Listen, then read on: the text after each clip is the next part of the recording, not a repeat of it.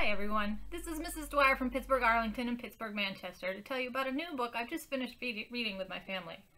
The City of Ghosts by Victoria Schwab. Do you love a good ghost story and are looking for a few thrills and chills to have this summer?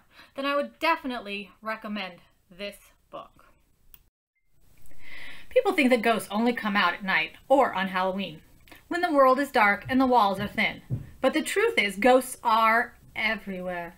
In the bread aisle at your grocery store, in the middle of your grandmother's garden, in the front seat on your bus. Just because you can't see them doesn't mean that they aren't there. Cassidy is no normal girl. She can see ghosts, including her best friend Jacob. Yes, he is a ghost. And her parents have a unique job too, but let me have Cassidy tell you a little bit about that. I kick off my shoes by the front door, next to a tower of books. Books spill out of the study and into the hall. Some are research, history, religion, myth, and lore, and some are novels. And other books have my parents' names printed on the covers, the titles emblazoned in silver and gold. The Inspecters. It's a play on words, you see, because an inspector is a person who searches for and examines something, and a specter with an E is another word for ghost. So an inspecter is a person who searches for and examines ghosts. My parents have written a whole series. They're up to volume six now. They're like history books, but with ghost stories mixed in. Truth and myth all rolled together. They're pretty popular. Now that summer's come around, Cassidy has plans to do nothing more than lay around and do nothing. But her parents have other ideas. Their books have been chosen to be made into a TV series, and they're headed to Edinburgh, Scotland to film. They're headed to the City of Ghosts, filled with castles, graveyards, and hidden passageways filled with ghosts. What will Cassidy do? As Cassidy heads to Edinburgh, Scotland with her parents to help filming, she meets another girl in Scotland who is just like her. And she tells Cassidy that the reason they're like this is so that they can hunt ghosts. What will Cassidy do this summer?